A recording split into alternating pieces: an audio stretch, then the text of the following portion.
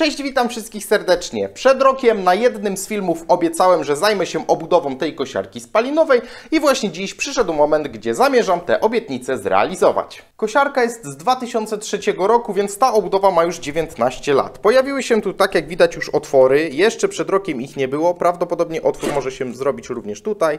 Tutaj również widzę, że będzie dziura. Spróbuję tę dziury załatać takimi troszeczkę domowymi metodami i zamierzam tutaj również przetestować taką E, taką wyjątkową metodę konserwacji podwozia, więc w troszeczkę inny sposób zabezpieczę tutaj podwozie przed jakimiś tam e, drobinkami piasku podczas pracy. E, będzie to taki test długodystansowy, więc jeśli wszystko pójdzie zgodnie z planem, jeśli to zabezpieczenie mi wypali, to prawdopodobnie za rok mniej więcej będzie wynik tego testu długodystansowego tej konserwacji podwozia. Przed rozbiórką szybkie oględziny sprzętu. Maszyna ma 19 lat, z przodu w kołach fabryczne są łożyska, nie ma tutaj żadnego luzu.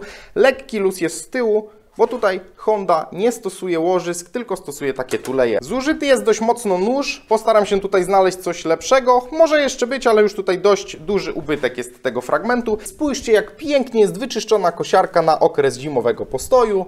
Oczywiście żartuję, ona wcale nie jest wyczyszczona, jeszcze pozostało tutaj trochę trawy w tunelu, zabrudzona cała taka maszyna i jak taka obudowa ma po prostu w ten sposób nie korodować. Normalne, że jak już w rodzinie ktoś umie naprawić kosiarki, no to wtedy wiadomo, że kompletnie nie trzeba się starać, żeby chociaż troszeczkę wydłużyć jej okres życia, skoro ktoś może to za frajer naprawić. Rozbiórka kosiarki jest banalnie prosta, więc aby nie przedłużać, pokażę tylko te ważniejsze fragmenty.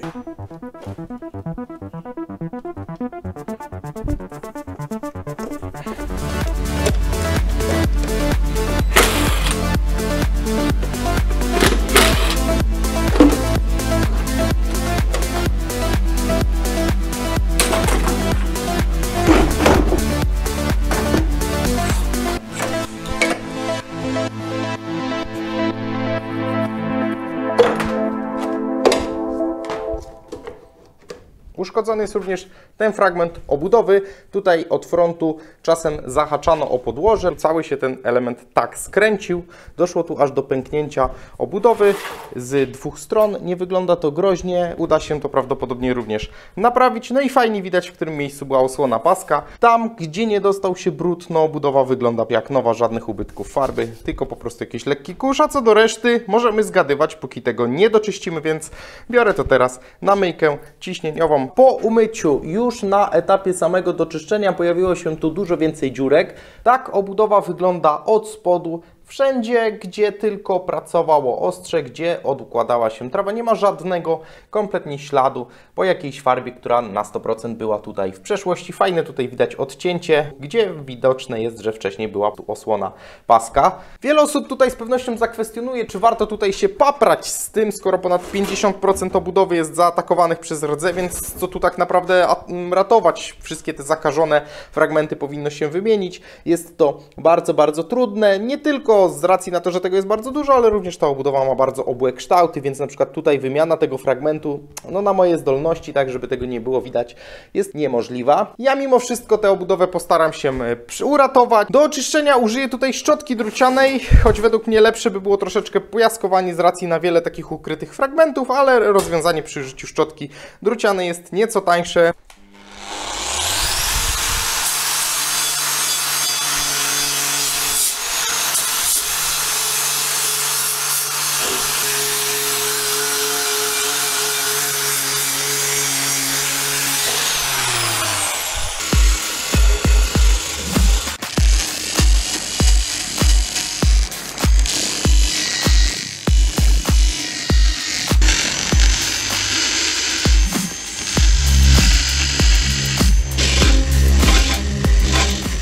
Sumie maksyk jestem w stanie osiągnąć tymi szczotkami. Dalszą robotę zrobi za chwilkę zmywacz do lakieru. Chciałem pokazać jeszcze kilka takich ciekawostek.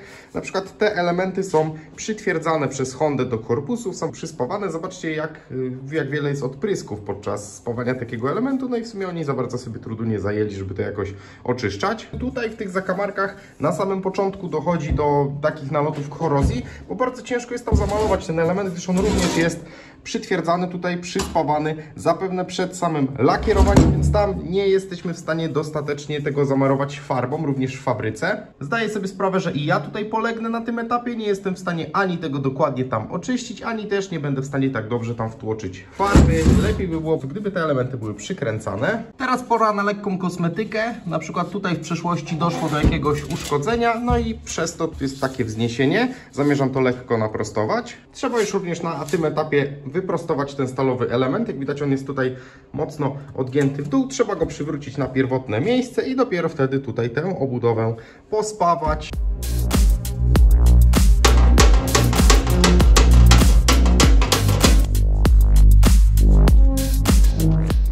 trochę użycia siły i jest o niebo lepiej. Zarówno ta krawędź jest dużo bardziej równa, choć nie jest idealna. Fajnie to jeszcze widać w ten sposób, że tutaj obudowa w dwóch miejscach idealnie stoi na tym stole, a pod spodem można zobaczyć idealnie równą szczelinę, odpowiednią dla kosiarki fabrycznej, sprawnej.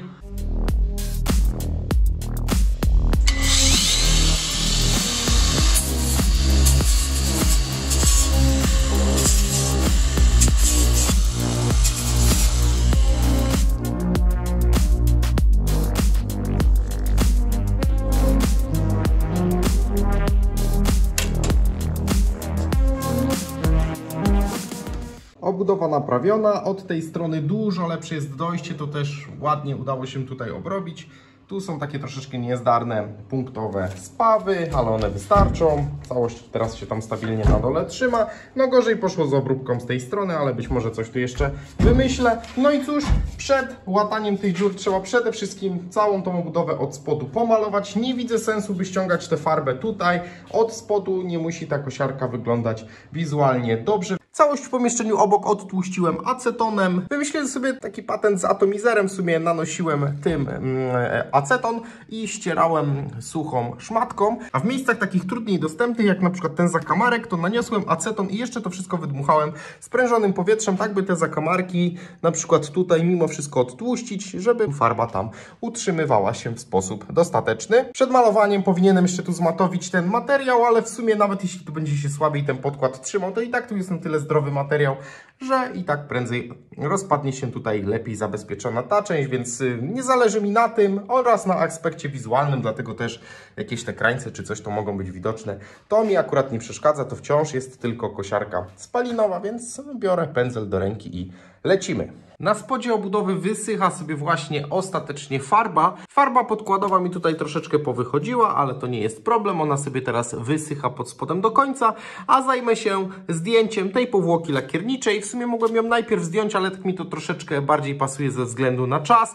Będę to mógł tak zostawić śmiało na noc, a nawet na troszeczkę dłużej właśnie z tym takim naniesionym zmywaczem, ponieważ no jutro wypada akurat takie święto Trzech Króli, więc nie będę tutaj nic potrzebował robić. To też nie przeszkadza przeszkadza mi, jeśli ona tutaj na tym warsztacie pozostanie, bo ten środek jest taki, że również jest bardzo niebezpieczny dla płuc, więc również go tutaj nie można wdychać. Środek ma mniej więcej taką konsystencję, taki to śmieszny klej. Można to szybko, niezbyt dokładnie nanieść na obudowę i można potem wszystkim ją przykryć i sobie ta powłoka lakiernicza powinna tutaj odejść. Gruba warstwa preparatu naniesiona, tak mi zalecono w sklepie. Przykryję to jeszcze wszystko folią, aby sam środek oddziaływał tylko w dół, żeby się za szybko nie ulatniał. Przykrywam i spadam stąd, gdyż już preparat zaczyna działać. O, tutaj między innymi w tym miejscu już widać fajnie, jak farba zaczyna po prostu tutaj rosnąć, tak samo tutaj na krańcach. Zatem zobaczymy, jaki efekt będzie jutro. Ok, zobaczmy, jak to wygląda pod tym prowizorycznym przykryciem. Wow, bardzo ciekawy widok.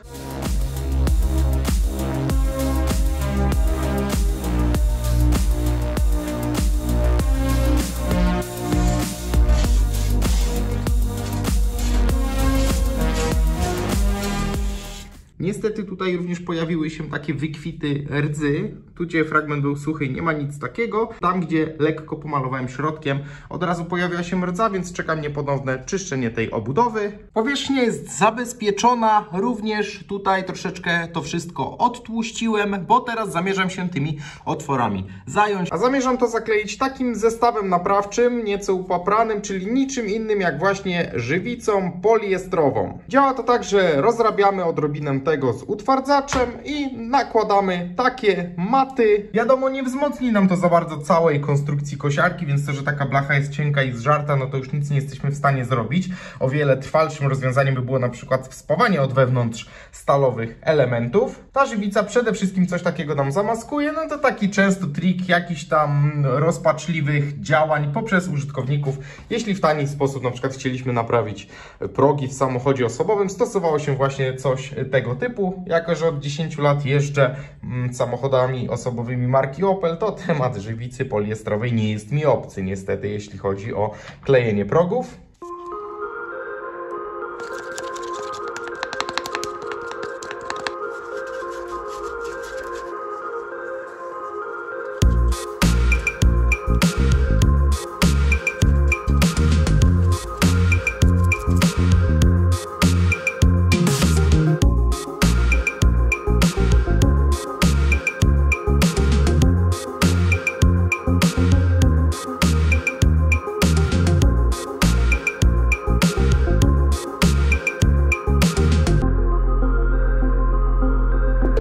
Tak to mniej więcej wygląda z bliska. A od drugiej strony tutaj lekko przetarłem, bo oczywiście parę mm, tutaj takich zacieków pojawiło się z tej strony. Wiadomo, przesiąkło przez tą matę. No i musi to sobie wszystko postać. Po nałożeniu żywicy jeszcze raz pomalowałem całą obudowę farbą podkładową w kolorze czarnym i spójrzcie, otworów z tej strony już nie widać. W sumie gdyby nie cień, który pada na nagraniu, to ciężko wręcz się dopatrzeć, gdzie te otwory były. Tak to wszystko wygląda z bliska. Pod światło nic kompletnie nie przebija. Jeszcze zrobię takie ujęcie troszeczkę dalej, jak całość wygląda.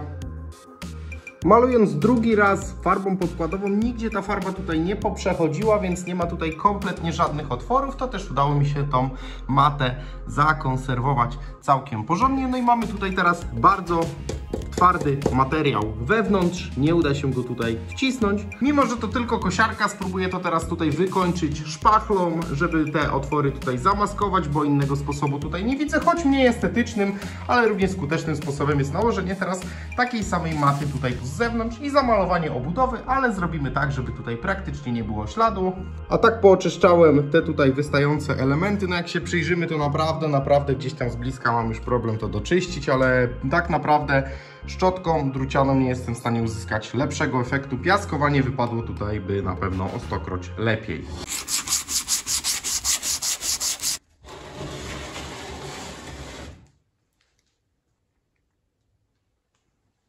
Dobra, po łącznie 3 godzinach szlifowania, po trzech poprawkach to jest maks, co jestem w stanie wyciągnąć. Nie jestem jakimś wirtuozem szpachli, nie jestem w tym taki dobry, także z pewnością przejścia będzie widać. No nie o to chodzi, to jest wciąż tylko kosiarka spalinowa, także malujemy to tak jak jest. No i właśnie, czym malujemy? Będę to malował takimi farbami typu spray i podkład zastosuję taki jasny, no biały można powiedzieć, a samej kosiarki nie chciałbym malować na ten taki błękitny, ten siwo-koperkowy, nie wiem nawet jak nazwać ten kolor, ponieważ on nie za bardzo z wiekiem dobrze się prezentował. Upodobnię tę kosiarkę barwami do nowszych modeli i zastosuję tu modny ostatnio antracyt do tego, by pomalować tę kosiarkę. Pozostało mi jeszcze zdjąć farbę z rączek, ale tu już nie chcę się paprać tym zmywaczem. Użyję takiej ściernicy z włókniny. To są będzie może widać z bliska, może załączę jakiś obrazek, tym bardzo fajnie się ściąga farbę. Zresztą niedługo to zobaczycie. Potocznie ta tarcza ma bardzo rasistowską nazwę. Są to włosy osoby czarnoskórej. Tak to się jakoś przyjęło, że wszyscy to tak nazywają. Nawet jak w serwis Google wpiszecie to, to prędzej znajdziecie tę tarczę właśnie w ten sposób niż ściernica z włókniny. Użyję koloru czarnego z połyskiem do pomalowania rączek, również poprzedzając to podkładem.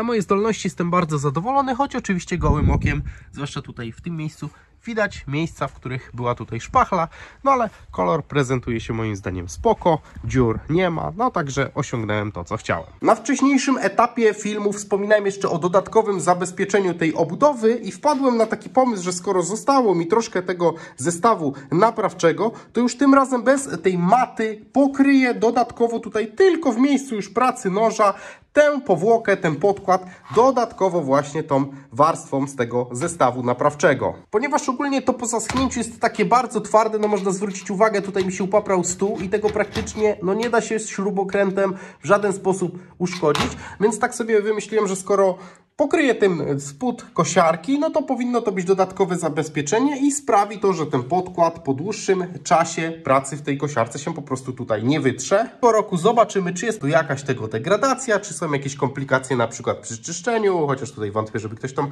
kosiarkę w przyszłości czyścił.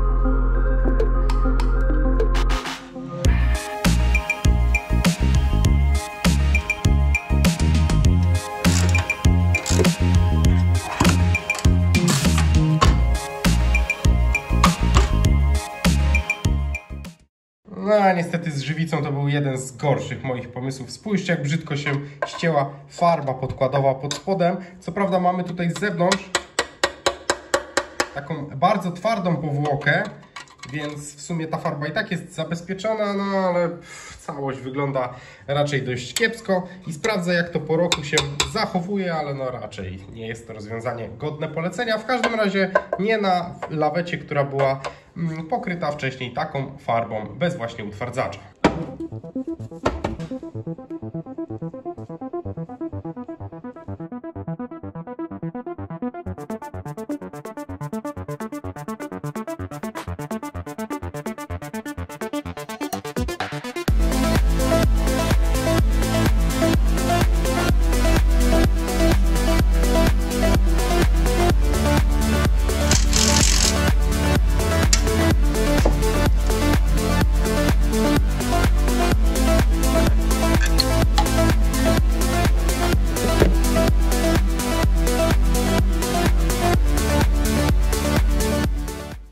chodzi o nóż, nic specjalnie lepszego nie znalazłem. Znalazłem taki, który po naostrzeniu jest zdegradowany w tym samym stopniu.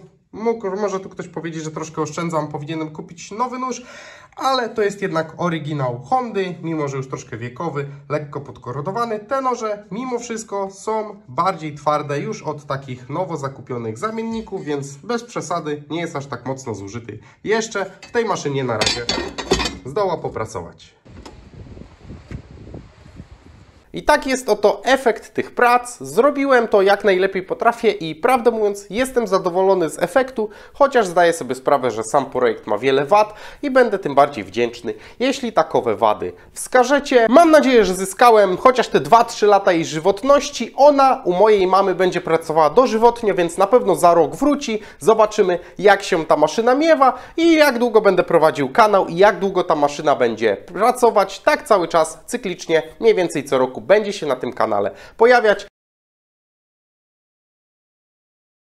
Ta maszyna od ponad roku pracuje na zamienniku gaźnika z AliExpress. Zobaczcie bez żadnej ingerencji, jak dalej na tym gaźniku ta maszyna pracuje.